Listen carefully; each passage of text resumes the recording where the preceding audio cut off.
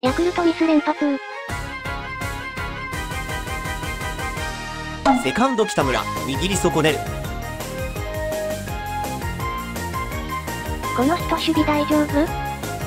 北村やばいやろ。またエラーしてる。なんでスタメンなんや？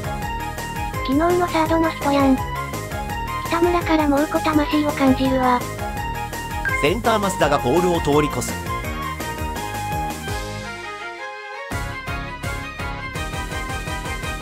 何してんだ？また守備でやらかしてる。草なんかやると思ったわ。逆にバウンドしたな。センター増田は守備軽視しすぎやろ。ツーベースなのか。させそうなランナーを無視する。サード飛び出してたわ。村上どこにおんねん。三塁いなくてよかった。サード出てきてて助かった。消えたサード事件。サードカバーおらんかったんか。またミスしてるやん。サードでアウトにする気がないやん。村上マジでなんで前出たんや？細かいミスが重なる。ピッチャー奥川、暴動で勝ち越される。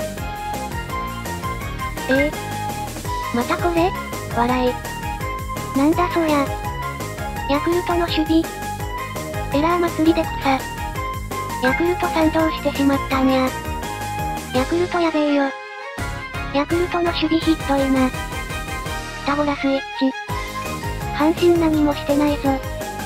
おばたが単打打ったらなんか点入ったんを。